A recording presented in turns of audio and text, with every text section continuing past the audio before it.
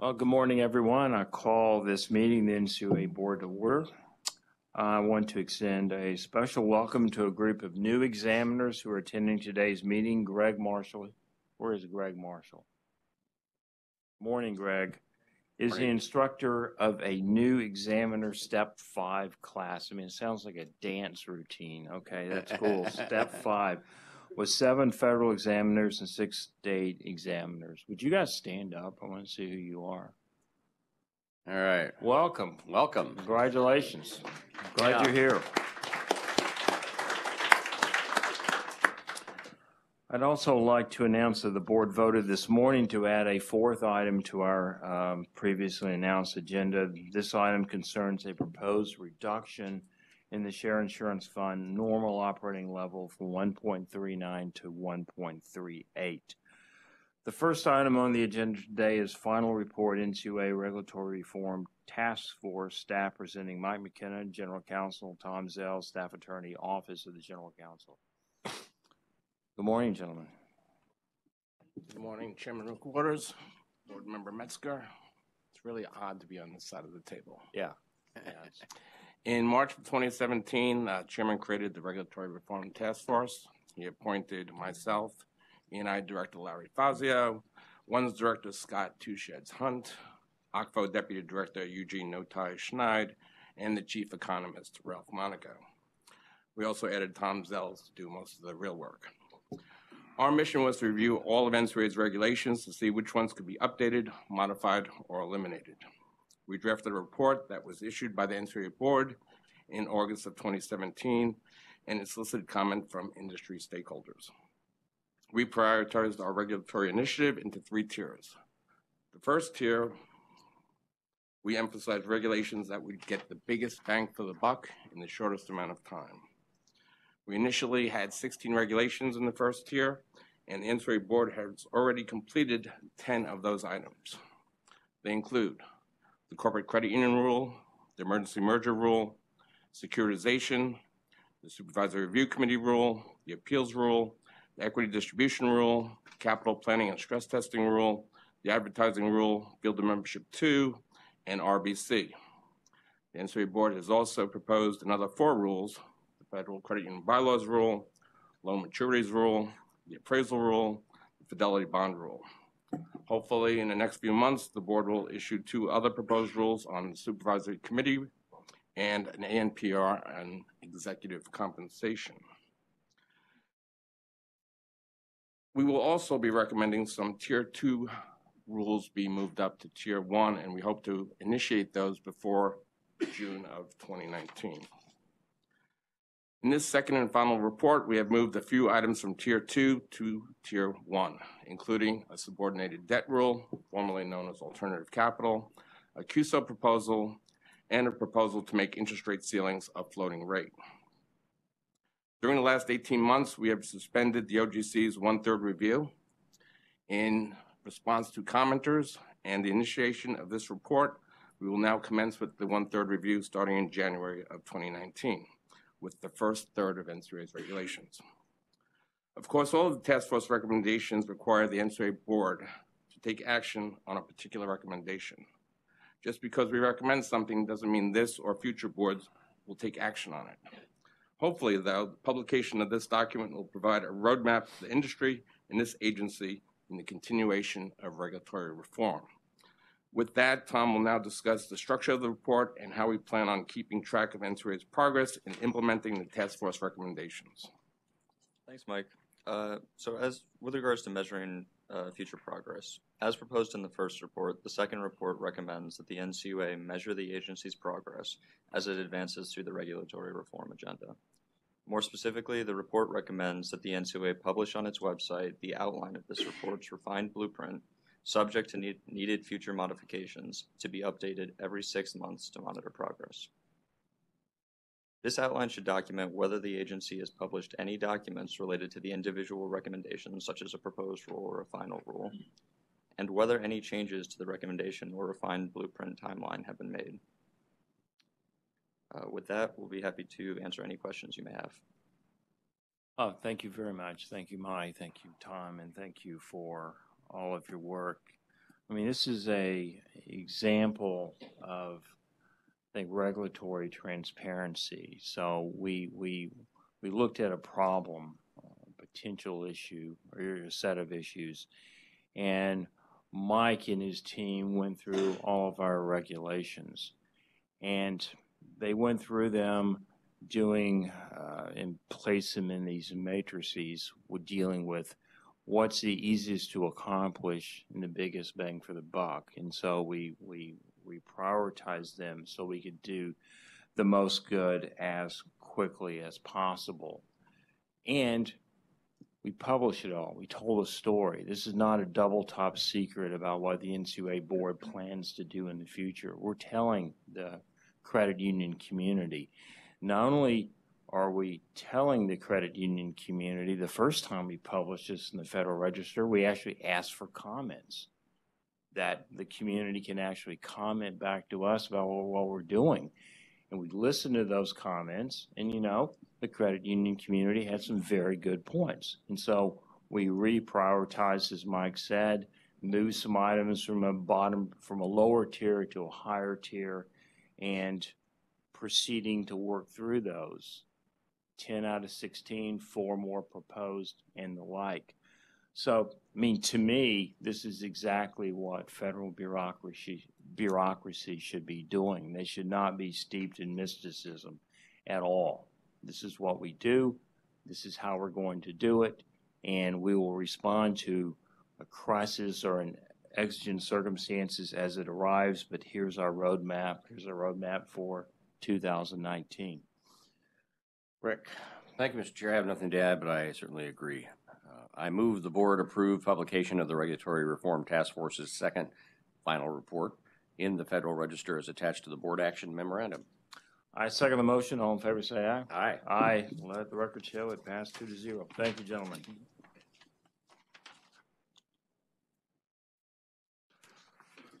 Uh, The second item on our agenda is board briefing blockchain and distributed ledger technology. Staff presenting Scott Borger, Senior Economist, Office of the Chief Economist, Rachel Ackman, s- uh, Staff Attorney, Office of General Counsel, and Amanda Parkhill, Policy Division Director, Office of Examination and Insurance. Good morning, everyone. Good morning. Good morning. Good morning, Chairman McWatters, Board Member Metzger. We are here today to provide you an overview of blockchain and distributed ledger technology and discuss how these technologies might impact credit unions. In July 2018, Mr. Chairman, you created the Blockchain Working Group to build the agency's expertise and knowledge about these emerging technologies. You asked us to take a deeper look at the impact of cryptocurrencies and their underlying technologies on the credit union system. During the past five months, that is exactly what we've done. We brought together an NCUA working group with members from many NCUA offices. The group reached out to subject matter experts to learn more about the technology. We considered how technology fits into the broader set of innovations in financial services. We also began working toward a- developing a comprehensive framework for how to evaluate blockchain projects. Our presentation this morning provides an overview of cryptocurrencies, which is one prominent use of blockchain and distributed ledger technology. We considered how Bitcoin, the first and best known cryptocurrency, Ethereum, Ripple, and other tokens fit into the landscape of technological innovation in our current payment system. We will discuss how the technology works and hopefully provide some clarity around the opportunities and risks of the new technology.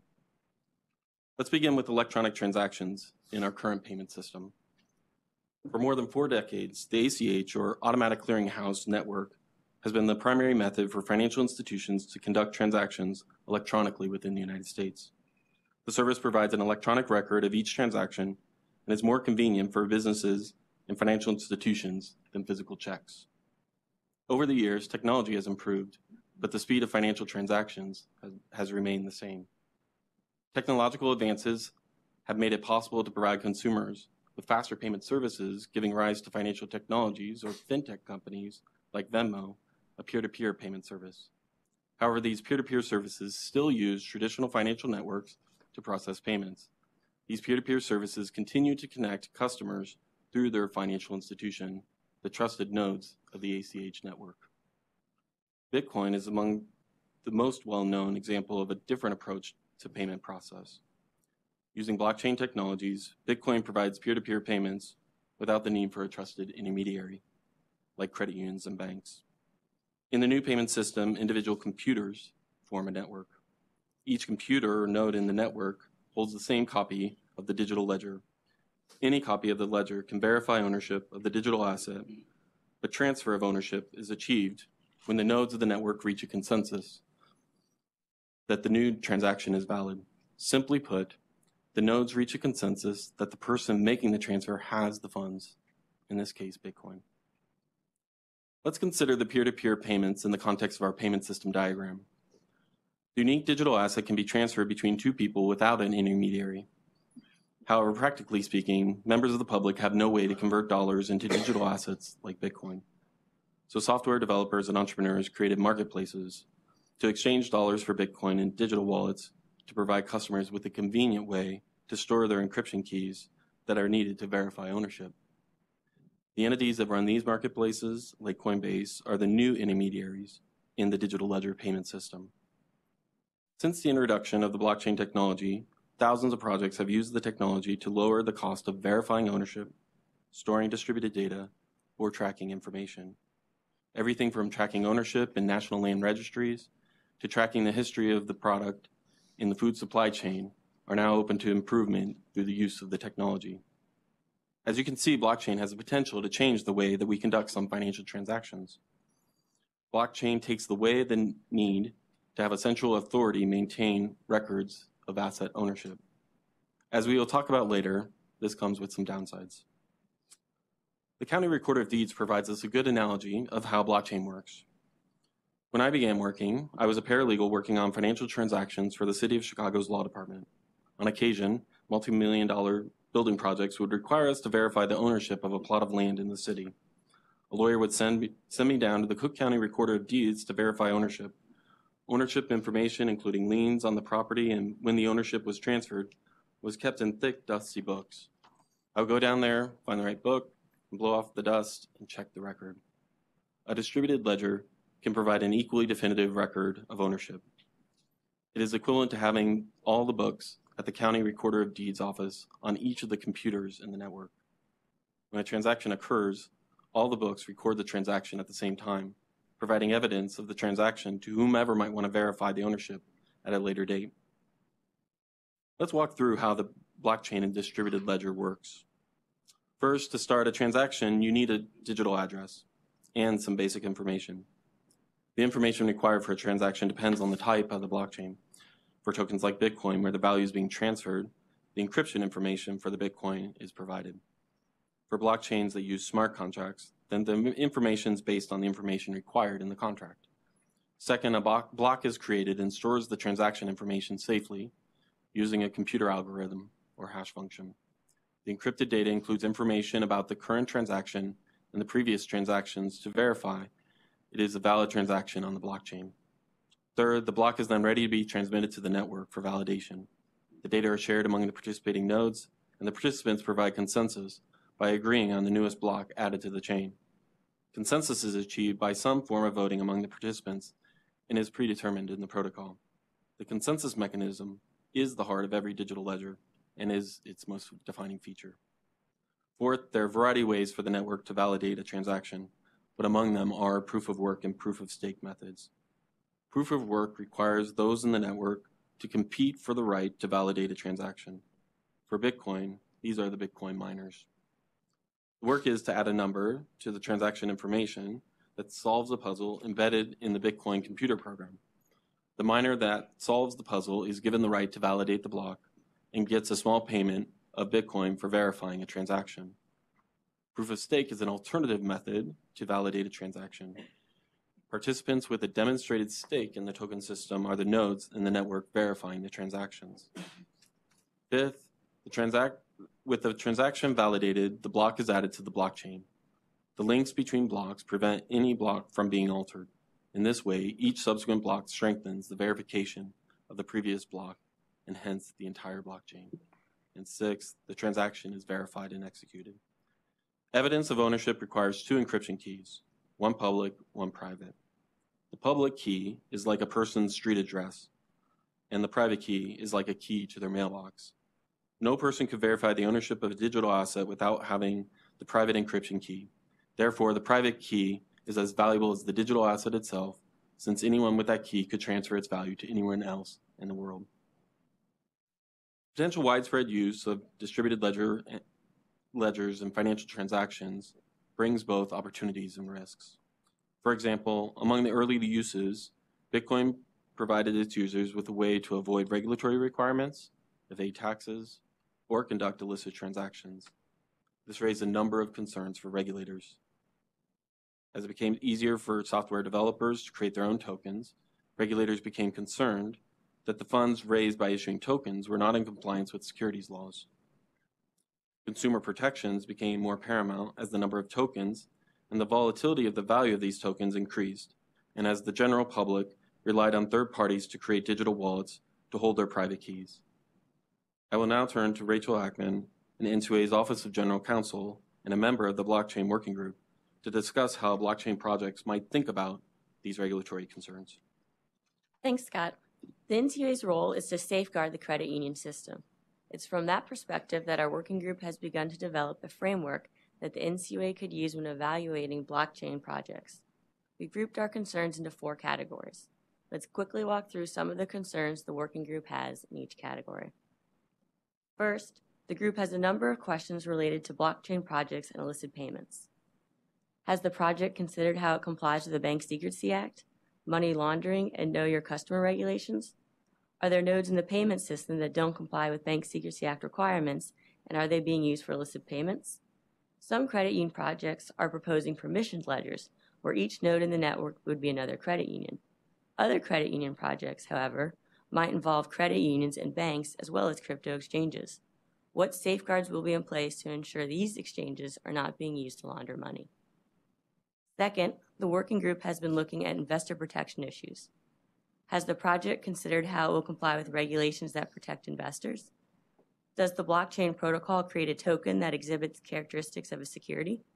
If so, then the token might be in violation of securities laws and could face enforcement actions by the Securities and Exchange Commission. Third, the working group has also begun looking into challenges around consumer protection. Has the project considered how it will comply with regulations that protect consumers? Do the transactions provide the consumer with adequate information to make informed decisions about risk? When fraud occurs, is there a way to make a victim of fraud whole? Or does the immutable nature of the blockchain make it impossible to reverse the fraudulent transaction? Finally, the group has been considering the broader issue of safety and soundness. For example, does the project use a third party vendor and has the credit union conducted its due diligence on the firms providing the credit union with the service? There are many other operational and technical issues that could pose safety and soundness issues. It is a concern that regulators like the NCUA must continue to evaluate. Now, I'll turn it back over to Scott. Thanks, Rachel. I want to take a moment to note that the agency is also working on emerging financial technologies more broadly. The FinTech Working Group, led by Amanda Parkhill, was created in August 2018 to address the agency's approach to artificial intelligence, non traditional lending, and other technological innovations on the horizon. I'll turn it over to Amanda to preview the work being done by the FinTech Working Group. Thanks, Scott. in addition to identifying the types of fintech in the industry, the FinTech Working Group is also looking at what the NCUA can do to ensure credit unions are able to adapt and embrace innovative financial technologies so that they can effectively compete in the changing financial services marketplace. We are looking at potential supervision and regulatory efforts and also developing a plan for providing industry outreach and soliciting stakeholder input. So um, look for additional information in the first quarter of 2019. Now I'll turn it back over to Scott. Thanks, Amanda. Over the next few months, the goal of the Blockchain Working Group is to engage the industry and to learn how credit unions view and use these emerging financial technologies. The working group has created a dedicated email address, blockchain at ncua.gov, that we hope will be a conduit for interested members of the credit union community to let us know how they are using blockchain projects and to give us feedback on the role of the NCUA in safeguarding the financial system in the context of these emerging technologies. In summary, while financial innovation has always been with us, the accelerating pace of change that information technology has brought, coupled with the widespread diffusion of computing power and the growing importance of networks, is raising new challenges. The Blockchain Working Group and the FinTech Working Group are working to understand the implications of these changes on the credit union system and the challenges they might raise in order to fulfill our mandate to maintain a safe and sound system of cooperative credit. We are happy to take any questions. Okay, thank you. Thank you guys very much for your work. I know back in the beginning of the summer, I was, I was thinking about this issue. And blockchain is one of those terms, it's used so often now that if someone asks you about it, you immediately have to say, oh yeah, I, blockchain, sure, I understand that, I get that. Otherwise, you're going to appear clueless. Okay, well, that's not a really great way to learn. That's really not a great way to act as a regulator. So, um, after talking with um, Mr. Metzger's office, we set up this working group to sort of be able to explain and help us understand how blockchain and this idea of a distributed ledger system could interface with the credit union community and what's the future of this. If this is the greatest thing in the world and credit unions don't understand it and NCUA doesn't understand it, then that's a recipe for bad things happening in the future. Okay? And there's an old saying there's no deception like self deception. So you have to admit what you don't really understand, you don't really get. So I set up the working group, found some really smart people who understand it, and they got to work and they produced this product. I wanted a briefing so no one thinks in the credit union community that NCUA is not paying attention to these issues, um, as well as the fintech issue itself. So when you think about the NCUA budget, part of our budget is going to items like this, items that you, as a member of the credit union community, may not see an immediate return on, may not see, oh, I got this for that, but we're laying the foundation, we're building the foundation for a safe and sound credit union community as financial services evolve, as they use blockchain technology and distributed ledger concepts. What all this means, we look back on this in 10 years, we're going to have a much better picture of where we were headed. Right now, thanks to these guys and what they're doing, um, I think we are we are we are ahead of the game. Mr. Metzger. Yeah, thank you, Mr. Chair. Um, and this is important uh, because things are changing rapidly and it is going to have impacts uh, heretofore unknown. And so, um, you know, getting a, a, greater background is really, really important. I know the SEC is dealing with this, uh, struggling with things, um, uh, particularly in the world of cryptocurrencies and looking at how some of these are being conveyed and citing these really aren't currencies, these are securities. And of course, we're in the business as well as the FDIC and others in insuring assets, but if they're not you know, uh, if certain things that might be considered aren't really considered currencies, they're not going to be insured, and and so as the technology moves ahead, um, as well as our uh, responsibility and member credit unions' responsibilities are um, in things like bank secrecy and about anti-money laundering, that uh, trying to stay, if not ahead of the curve, certainly with the curve. Uh, as these things uh, evolve. So, uh, appreciate your work. Look forward to um, um ongoing dialogue of, uh, you know, how we move forward and with our sister agencies on this. So thank you for your work. Thank you. Thank you. Appreciate it, guys. Uh, the third item on the agenda is final rule technical amendments to NCUA's regulation staff presenting Ben Litchfield, Staff Attorney, Office of General Counsel.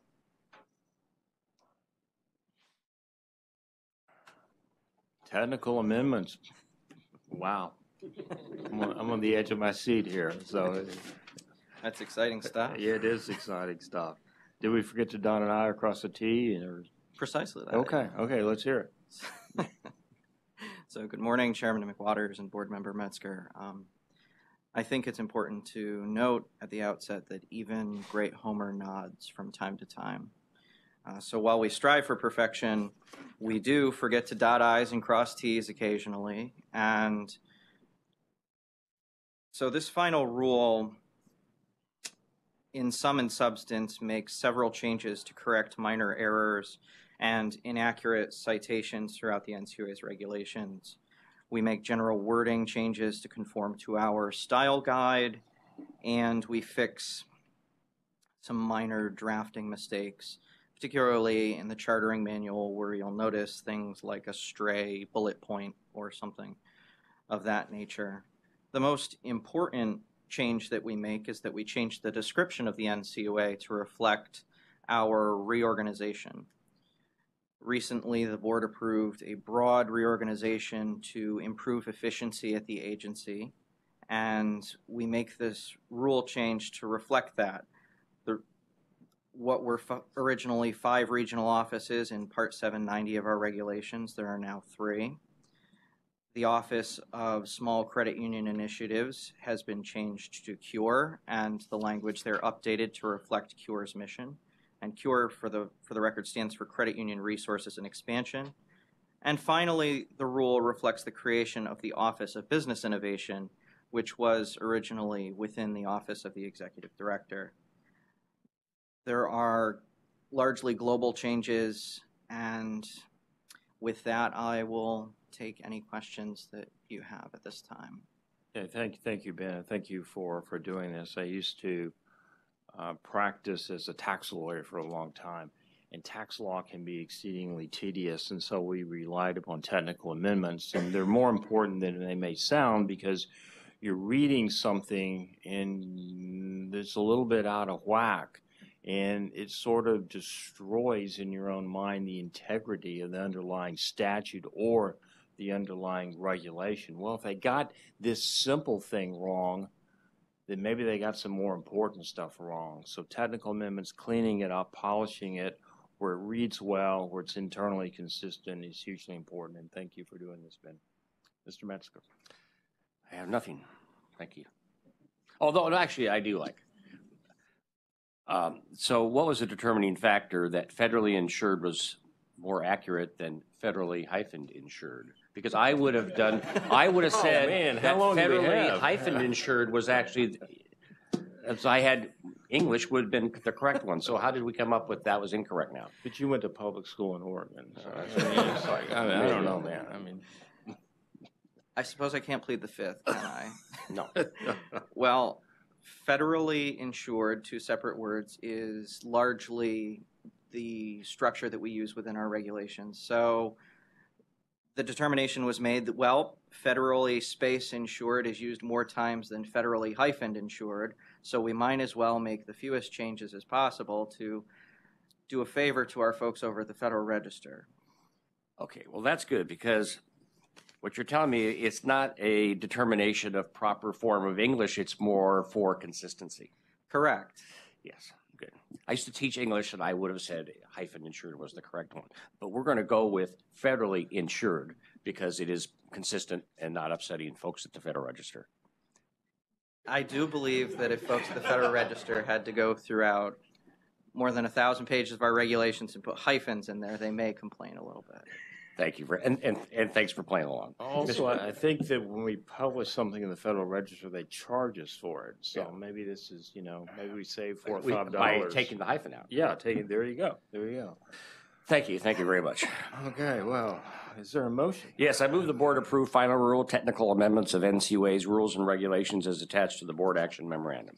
I second the motion. All in favor, say aye. Aye. Aye. Let the record show it passed two to zero. Thank you, Ben. Uh, The newest and last item on our agenda today is 2019 Share Insurance Fund Normal Operating Levels. Representing Larry Fazio, Director of Office of Examination and Insurance, Julie Casey, Director of Division of Risk Management, and Ralph Monaco, Chief Economist. Welcome, everyone. And I want to note, Mr. Chair, this, I think, is Mr. Monaco's swan song before us. I think that's right. We're gonna miss, Noticing- we're gonna miss him. Well, I, I- I'm not, I'm not sure if he's going.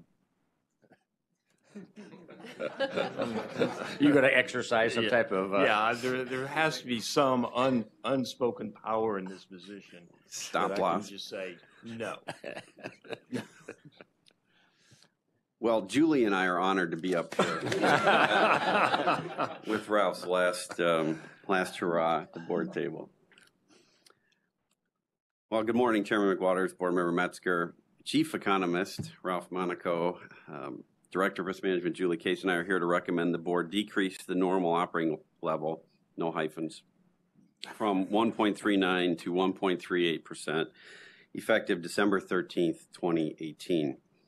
It's important to note our analysis uses June 30th, 2018 and September 30th, 2018 data to generate a point-in-time estimate based on the best available information at this time. Economic conditions that involve greater volatility in one or more market indicators uh, as compared to the stress scenario model can, of course, lead to different outcomes. The normal operating level represents the point at which excess equity is returned to credit unions in the form of a share insurance fund distribution. So there are a few important things to note regarding NCUA's normal operating level. First, Congress set a floor for the normal operating level in the Federal Credit Union Act at 1.20%, so it can't be lower than that. Uh, if the equity ratio were to fall below 1.2 1.20%. The Act also mandates that the board either assess a premium or develop a fund restoration plan to get it back above 1.20%. Uh, Congress also set a ceiling for the normal operating level of 1.50%. Um, and finally, I note that the NCUA board may not assess a premium if the equity ratio exceeds 1.30%. Therefore, even though the equity ratio could go as high as 1.50%, it can only grow above 1.30% through earnings, not premiums. Uh, historically, the board has set the normal operating level as the target equity ratio for, for the fund. The normal operating level was last set at 1.39% in September 2017 based on the new methodology the board adopted at that board meeting as well. So, in its role as steward of the Share Insurance Fund, the NCUA must consider its obligation to protect insured member deposits, um, the responsibility that comes with being backed by the full faith and credit United, of the United States, and how management of the Share Insurance Fund affects the credit union community. These are the overarching considerations uh, when setting the normal operating level. And to achieve these objectives, the NCUA seeks to ensure the fund can at least withstand a moderate recession without the equity ratio falling below 1.20%. As we previously noted, that's the statutory minimum where the board would have to do a premium or a restoration plan. And though Congress gave the NCUA board the ability to develop a fund restoration plan in lieu of a premium, for extraordinary circumstances, the fund should be able to manage a reasonable range of expected and unexpected declines in the equity ratio without having to rely on a fund restoration plan. Relying on a fund restoration plan uh, could erode public confidence in federal share insurance and would not necessarily eliminate the need for cranes to pay premiums when they can least afford it. So the NCUA should increase the equity of the fund during times of economic prosperity and allow it to decrease so as not to assess premiums during economic downturns. So managing the fund uh, to withstand a moderate recession covers a relatively broad range of outcomes. But there are a number of economic scenarios that could have a greater impact on the fund uh, that do not rise to the level of a severe global recession. So we need to keep that in mind. Now I'll turn it over to Julie to discuss the NCUA's policy for setting the normal operating level. Thanks, Larry. In September 2017, the assets and liabilities of the Stabilization Fund were transferred to the Share Insurance Fund. The board approved setting the normal operating level at 1.39%, recognizing the remaining corporate system resolution program obligations would create additional risk for the Share Insurance Fund until the end of the NGN program in 2021, in addition to the customary risk of insuring federally insured credit unions. Using economic scenarios developed by the Federal Reserve as part of their work on the Comprehensive Capital Analysis and Review, we modeled the impact on the equity ratio over five years under a moderate recession. For share insurance fund performance, we looked at the three primary drivers insurance losses, insured share growth, and yield on investments. We also modeled the share insurance fund's claims on the asset management estates under these scenarios. Thus, the methodology for setting the normal operating level also helps ensure the share insurance fund holds enough equity to cover the risk posed by the NGN program. This includes the risk of a decline in the funds receivable for a claim on the corresponding corporate asset management estates in a moderate recession and the anticipated decline in the equity ratio through the end of 2019, even without a recession. This is necessary to ensure the equity is available to cover any decline in the value of the claims due to a moderate recession that would occur before the NGNs mature and the underlying assets are sold. As summarized on this slide, in a moderate recession, the equity ratio would decline by 13 basis points from its customary exposures and another 2 basis points from a reduction in the value of the claims on the corporate estates. In addition, the equity ratio of the fund is expected to decline by 3 basis points through the end of 2019, even with no economic stress.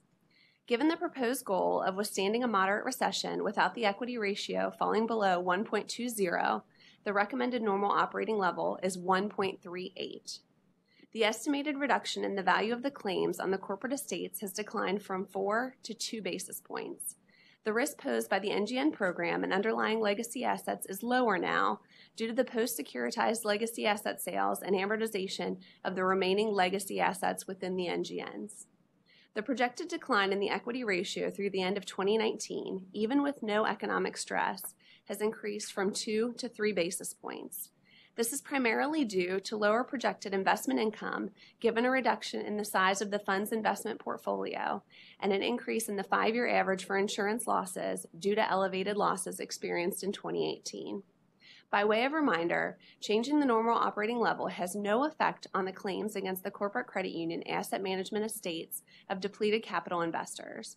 The recovery for depleted capital holders operates on a different basis than any return of assessments. Depleted capital holders are not projected to receive any recoveries until at least 2021. It is important to keep in mind that these are projections. Actual results may vary based on things like extraordinary losses and or failures in credit unions, abnormally high insured share growth, or volatile economic conditions. Larry will now discuss our recommended action and what is to expect next. I'm actually going to turn it over to Ralph so he can finish us out here. This is when the swan starts to sing. So at this time, we request the board approve decreasing the normal operating level from 1.39 to 1.38% effective December 13th, 2018. The December 31st, 2018 equity ratio is important because it is part of the statutory basis for determining whether a distribution is made to insured credit unions. There are several pieces of information necessary to calculating the equity ratio. This includes the results of the Share Insurance Fund's operations, which will be available in mid-February 2019 when the Share Insurance Fund's audited financial statement becomes available. Based on year-end call report data, the NCUA will validate insured shares data by the end of February 2019. Once calculated, the equity ratio is compared to the normal operating level, should the equity ratio fall below the normal operating level, no distribution will be made and no premium may be charged unless the equity ratio falls below 1.30%. When the equity ratio exceeds the normal operating level and all other regulatory requirements are met, the share insurance fund must pay a distribution. Any distribution will come down to the extent to which the equity ratio exceeds the normal operating level at calendar year end. If there is a distribution, it will occur by the end of the second quarter of 2019. We'd be happy to answer, Larry would be happy to answer any questions. There you go, there you go. Just- just- Larry, let, let me, be- I have a couple of questions, but before we get into that, why was it that this, we were not able to post this earlier onto the agenda for the board meeting? So we, um, the math here is obviously extensive and um, the vetting that goes into the numbers. And so staff completed our work uh, literally last week. Uh, we did not then, uh, we weren't able to finish briefing the board members until this week and to finish drafting the, the board action materials until yesterday. So that's why it was added um, Okay. yesterday or, Okay. or this Yeah. morning. That, that makes, that makes sense to me. Uh, Last year, when we raised the normal operating level to 1.39, we made a commitment um, that we would look at this every year. And I think some people looked at that, sort of rolled their eyes and said, yeah, sure you will. Well, actually, we, we, we did, and we will continue to do that.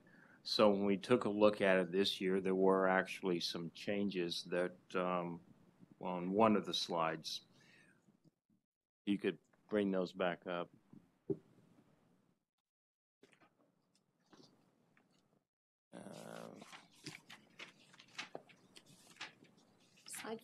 Slide five. Yeah, slide five. There you go.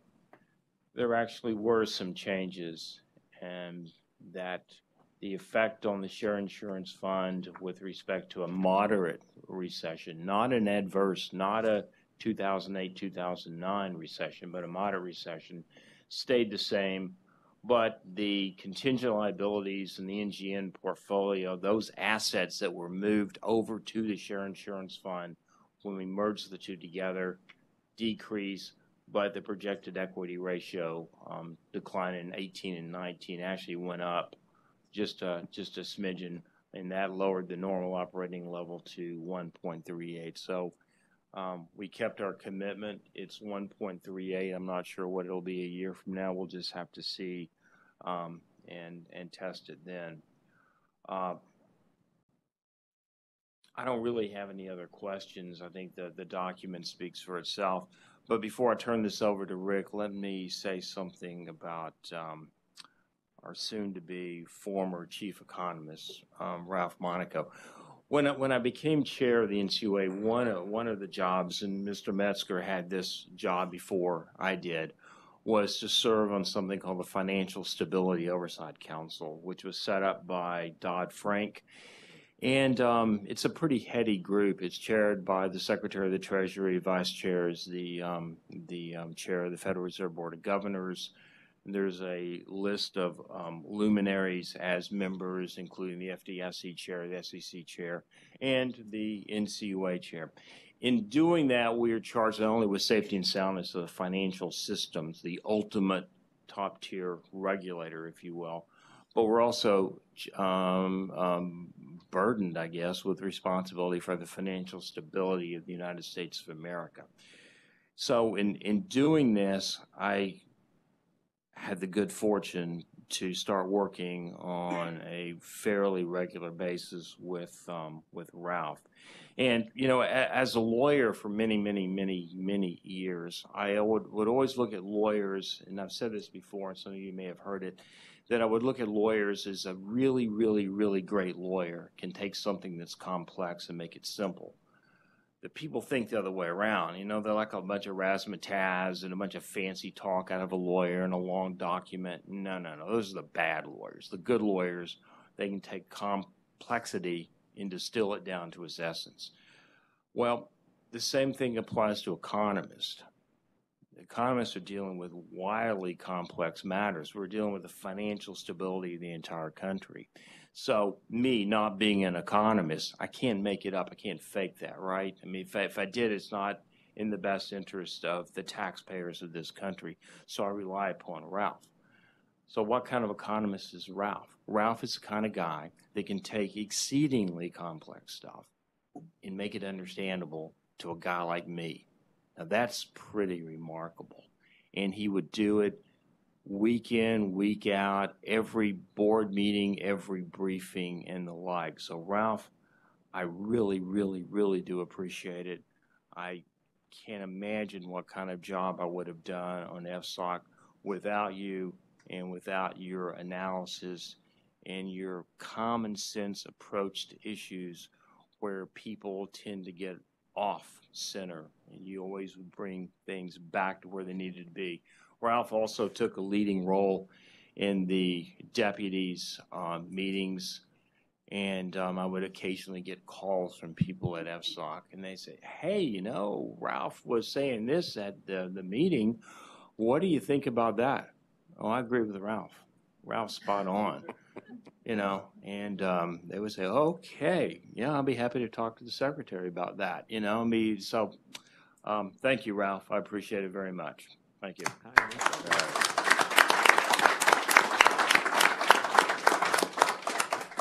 Mr. Metzger. Thank you, Mr. Chair, and Ralph, thank you again, as uh, Mark has mentioned, for all your great work, and uh, uh, we will miss you. We hope you come back and visit once in a while uh, and say hello, because uh, it has been uh, just a, a real pleasure working with you. Uh, uh, Just a couple things on the uh, NOL. um, to emphasize what the chair has said. Actually, this is the first time in my five-plus years on the board that we've actually added something literally on the morning of the board meeting. And I think that um, really is a testament of good things. And like, because we know how important something like this is at the end of the year, and that's the determining factor uh, for the, whether there would ever be a dividend at all. Um, And uh, I appreciate the briefing that we had, I think Tuesday afternoon. Um, And, you know, it would have been easy just to say, well, no, it's too late, let's not do this, you know, wait till January. But then you lose that opportunity for a whole year, which is not in the best interest of credit unions. So the fact that we were able to bring this forward in a timely manner, I think is uh, a real testament to, as the chairman mentioned, our promise a year ago when we set the normal operating, operating level at uh, 1.39, that it was not permanent. We didn't know it could go either way, but it was not permanent, that we were going to reassess it every year. And when and if we saw changes in that that were data-driven, you know, uh, objective, um, not subjective, uh, that we would take the appropriate step. And so um, the fact that that data now has been put together to reflect that we can make that change, I think is, um, again, as the chairman mentioned, you know, fulfillment of our promise that we will continue to look at this and adjust that appropriately. Um, I want to reemphasize what Ralph said, and because if you're a credit union, you're thinking, oh, that could mean dividend, that could mean dividend next year. Um, and just a reminder that that is possibly true. Uh, we'll, it will be again data driven by what things are at the end of the year. Those numbers will be crunched, uh, but at least it does open that window uh, to a potentiality that we'll know in a few months. Uh, But I want to thank all the staff for working hard to get this to us in time before the end of the year uh, so we can make a decision to move forward. Uh, And again, uh, keeping the promise that we made to continually review uh, this item, Mr. Chair. Thank you. I, I concur. Um, Is there a motion? Yes. I move the board approve decreasing the normal operating level from 1.39 to 1.38% as detailed in the board action memorandum. I second that motion. All in favor, say aye. Aye. Aye. Let the record show the motion passed two to zero. Thank you very much. Thank Okay, you. That's the end of our agenda Ralph. today. There being no further business, we're hereby adjourned. Thanks.